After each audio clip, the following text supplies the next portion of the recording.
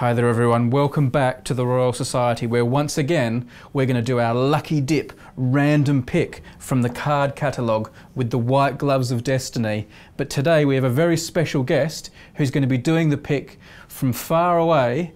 It is one of our Patreon supporters here on Objectivity. Look who it is. Hello. It's Alice. Alice, give us your quick summary. Tell us about yourself. Uh, I am a New Zealander living in London for the last six years. Um, I test software in my day job, and by night I like music and writing. Did you say you're a New Zealander? I am a New Zealander. Sorry, Oh, oh, hang on. We seem to have a bad connection here. No, no. Even we're going to let you do it anyway. so Keith is going to choose a card for you, and then a second backup card. Any any preferences? Anything you're hoping we might pull? I do like a little bit of geography. I'm- I'm a bit of a traveller, so that would be quite fun. Um, also, anything just general geekery, science. Okay. Well, you've come to the right place, virtually. This is a first. I, I've never been someone's virtual hands before. Yeah. Can we start in the bottom corner of that left-hand side there? Bottom corner of the sense. left. Yeah. Uh, Down here? no, so on, on the other side of that section. Other side of this section. So here. That one there. That's it. Yep, good. Uh-huh. Open that drawer. Please. Oh. Yeah, here we go. Let's go right to the back. Right. Right to the back. Say when. When? All right. What have we got? Ah, so we have the sun's parallax deduced from observations of the recent transit of Venus, 1772. It's in Latin. How's your Latin? I haven't studied it for about 15 years, but we'll see how we go. This is good. All right. Do you want to do a second pick? Where do you want to Where do you want to go second time? Uh, middle of the right hand side, maybe. Middle, right hand side. Here. That's the one. That's the one. Right at the front third, maybe somewhere there. Yep. Say when. When? When? So this is suggested improvements in the miner's safety lamp. Good bit of engineering there. So, it.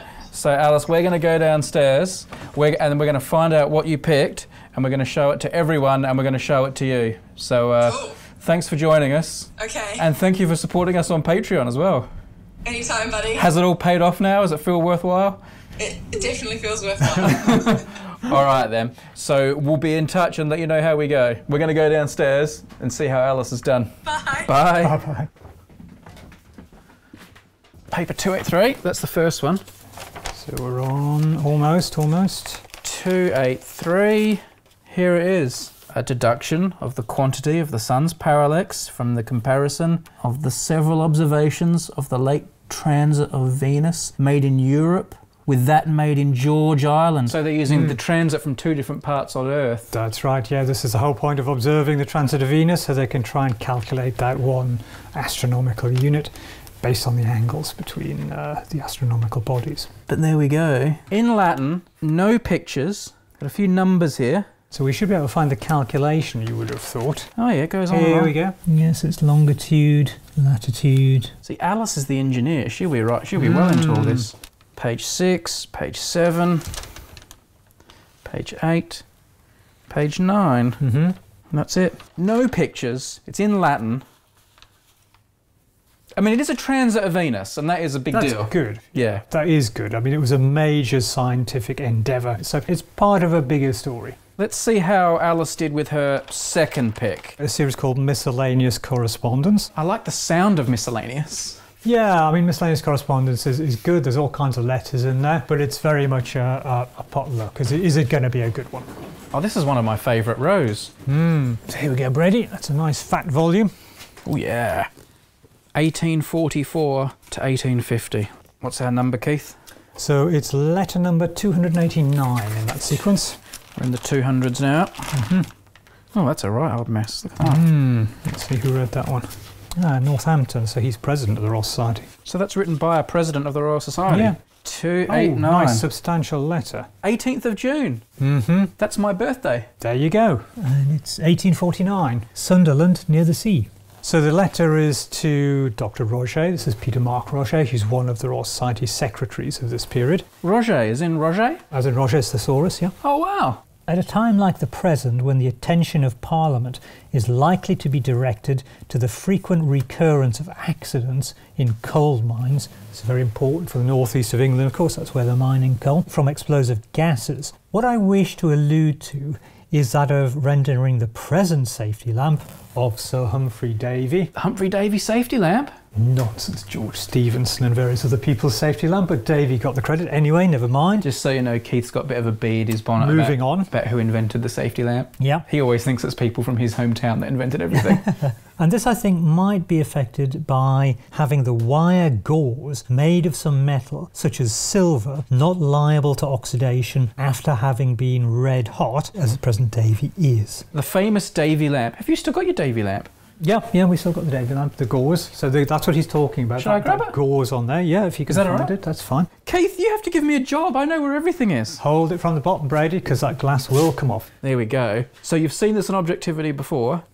This is a very special item here at the Royal Society, and we see the gauze that's being talked about. Mm-hmm. And the lamp flame is inside the gauze, isn't it, to stop explosions happening? That's right, so the flame can't propagate across the gauze. It heats up, but the explosion won't happen. It won't ignite the gases, and the coal doesn't gaseous mix on the other side. So the letter is talking about replacing that with a different type of gauze, with something that won't oxidize. I have been informed by Pittman that the Davy, after having been frequently red hot, becomes very weak in the gauze wire. And he's saying when these things get hot, they start rusting and collapsing and becoming less mm, integrity. yeah. Let's make them from something different. There is another substance which I have sometimes thought might be very proper as a shield or substitute for wire gauze, and that is asbestos. Asbestos. Excellent mm. idea. Very good. Let's yes. get a whole bunch of asbestos down in the mine. No drawbacks there. As this substance is almost indestructible by flame, do you think, honoured sir, that it is possible to have it wrought into a substance like cloth and have minute apertures for the transmission of air? I would be proud indeed to hear from you. I think that's a really good letter. That's brilliant. So he's proposing replacing the metal gauze with like a, an asbestos cloth mm-hmm. with lots of holes punched in it. That's right. Because the asbestos deals better with fire. Yeah, that's exactly right. So, don't know if anybody tried it. Perhaps objectivity viewers can tell us. I'm going to say it. Alice, It's a good one. well done. So we've got a bit of a postscript because Alice works in London and after Hey. work she's popped in to come and have a look at the stuff.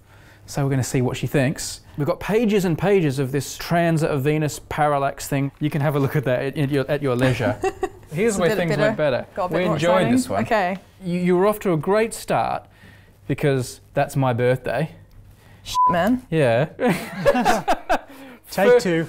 First ever swear word on objectivity. Yeah. We have liberal use of swear words in our country. This Sorry. Is, this is why we don't let civilians on the show. Yeah. So he's written in and said, Look, I've got my ear to the ground. I've been hearing some problems with Davy's lamp, and I've got some suggestions about making the gauze out of something different. Cool. I have sometimes thought that might be very proper as a shield or substitute, and that is asbestos, as this substance is almost indestructible by flame. So uh, you, you, you now have an asbestos safety lamp. Good. Yeah. More So- things to kill you. Yay. Yeah. All of that just says to me how unsafe mining was. Yep, the it end of the certainly day. Was. Yep. We're going to award you the coal slips. Oh, Keith, Keith made a little joke. oh, I love it. So those are for you. Thank you so much. Congratulations. You can even have the white gloves Oh, no way. that way. perform so well as a souvenir. Thank you very much. That is incredible. They are quite powerful, so be Okay. careful how you use them. I'll, I'll wield them safely. Yeah, don't, worry. Don't go too close to any card catalogues.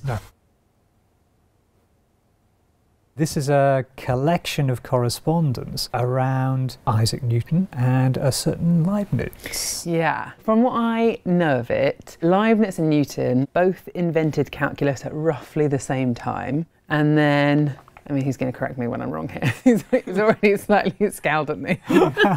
and then uh, they were generally all right about it for a little while, but then Newton decided no, he wanted the credit. And so he wrote a series of letters to discredit Leibniz. That's right. So what they did was they gathered together relevant correspondence, as evidence, of course, because they're scientists, in order to establish Newton's priority in the invention.